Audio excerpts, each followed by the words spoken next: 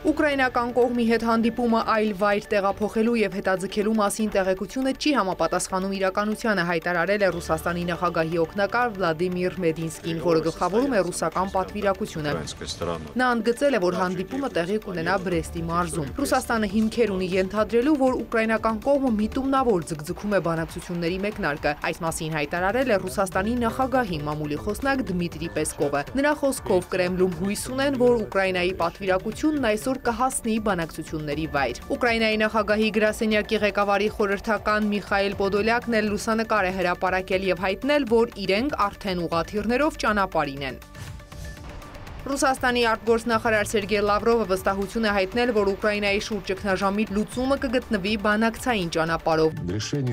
Ռուսաստանի գլխավոր դիվանագիտի խոսքով Մոսկվայի պայմանները նվազագույնն են եւ դրանք չի կարելի որակել որպես կապիտուլյացիայի պահանջ։ Ըստ Լավրովի Ռուսաստանի հիմնական պահանջներն են Ղրիմի ճանաչումը որպես Ռուսաստանի մաս, Դոնեցկի եւ Լուգանսկի ժողովրդական հանրապետությունների ճանաչումը Դոնեցկի եւ Լուգանսկի շրջանների սահմաններում, ապա ռազմականացում, որի պարամետրերը պետք է համաձայնեցվեն, ինչպես նաև ապազգայնականացում նախկինում Գերմանիայի օրինակով։ Ռուսաստանը չի կարող թույլ տալ, որ Ուկրաինայի տարածքից իր երկրի նկատմամբ անմիջական հարձակման վտանգ լինի, ասել է Լավրովը, հավելելով, որ Մոսկվան կշարունակի Ուկրաինայում հատուկ գործողությունը։ Тем не менее должны состояться переговоры.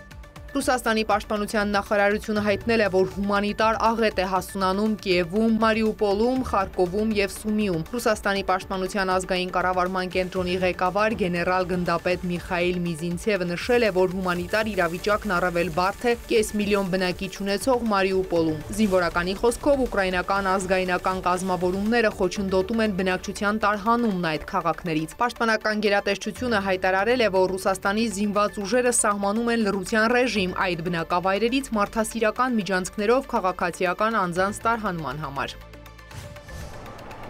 Ուկրաինայի զինված ուժերի գլխավոր շտաբից էլ հայտնում են, որ պաշտպանական ռեժիմից անցնում են հակահարցակման։ Նախագահի աշխատակազմի ղեկավարի խորհրդականն էլ հայտարարել է, որ իրենք ոչ միայն պաշտպանվում են, այլև գրոհում։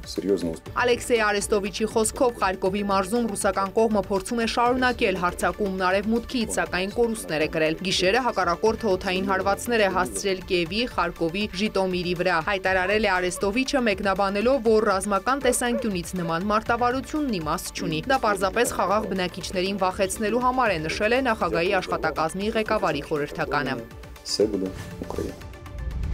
Ռուսաստանի եւ Ֆրանսիայի նախագահները հերրախոսազրույց են ունեցել։ Էմանուել Մակրոնը զրուցել է Վլադիմիր Պուտինի հետ, ապա Ուկրաինայի նախագահ Վոլոդիմիր Զելենսկիի։ Մակրոնի հերրախոսազրույցը Պուտինի հետ տևել է 1.5 ժամ։ Եվրամիությունը լրացուցիչ քայլեր կձեռնարկի Ռուսաստանի դեմ, եթե Ուկրաինայում իրավիճակը վատթարանա, հայտարարել է Եվրահանձնաժողովի նախագահ Ուրսուլա ֆոն դեր Լայենը։ Մենք պետք է անկախանանք ռուսական գազից, նավթից եւ ածխից։ Այս գործում առաջ գնալու մեր վճռականությունն ավելի ուժեղ է, քան երբևէ, հավելել է Եվրահանձնաժողովի նախագահը։ Նրա խոսքով Ուկրաինայի նախագահ Վոլոդիմիր Զելենսկին դիմել է Եվրահանձնաժողովին Եվրամիությանն Ուկրաինային անդամակցության խնդրանքով, սակայն նախ պետք է ավարտել պատերազմը պատերազմը նշել է Ուրսուլա ֆոն դեր Լայենը։ Նա չի պատասխանել լրագրողների ուղիղ հարցին, թե որքան կարող է տևել Եվրամիությանն Ուկրաինայի անդամակցության գործընթացը եւ արդյոք կառույցը պատրաստ է աջակցել Մոլդովայից եւ Վրաստանից Եվրամիությանը միանալու դիմումներին։ Մերի Ներսիսյան, լուրեր